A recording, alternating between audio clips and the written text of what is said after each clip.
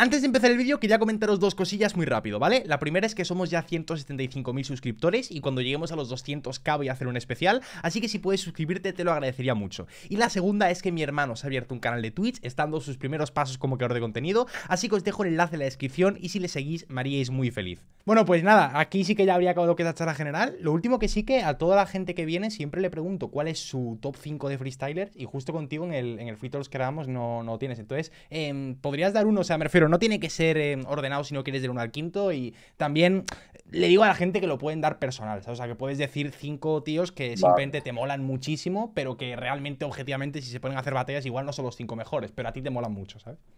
Ya. A ver, eh, Asesino y Escone, para mí tienen que estar. O sea, son prácticamente intocables. lo que hacen esos dos tíos es, es otra cosa y durante tanto tiempo.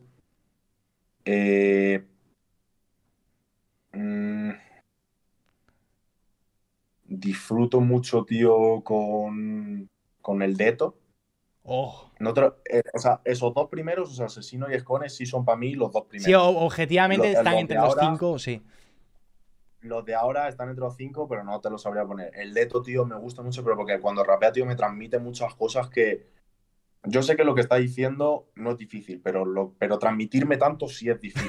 sí, sí, O sea, tú le, ves, tú le ves en persona, tío, y es, es increíble.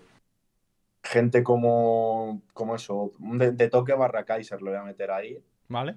Eh, siempre los pongo en pack. Para mí es como lo mismo, pero en diferente país. Es como gente muy pasional, tío, que hace mucho por el free. Lo mismo, pero en diferente eh, país.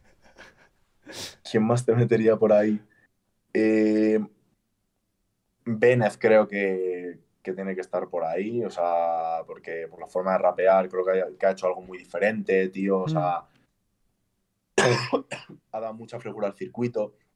A mí a nivel personal me gusta mucho competir con él, ¿sabes? O sea, eh, tiene que estar por ahí.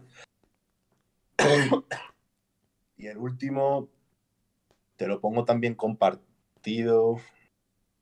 Sí, es que si no se va a quedar mucha peña afuera, tío. Eh... es complicado, ¿eh? Creo que por ahí, por ahí tendría que estar eh, Arcano Piezas, seguramente. Vale. También. Vale, está A nivel histórico. Sé que ahora mismo, a nivel, a nivel actual, o sea, hay muchos, a nivel actual, evidentemente Gacir, Mecha, Maritea, Azuki está en la gira, la estoy viendo muy bien, seguramente en un par de años va a ser un escándalo.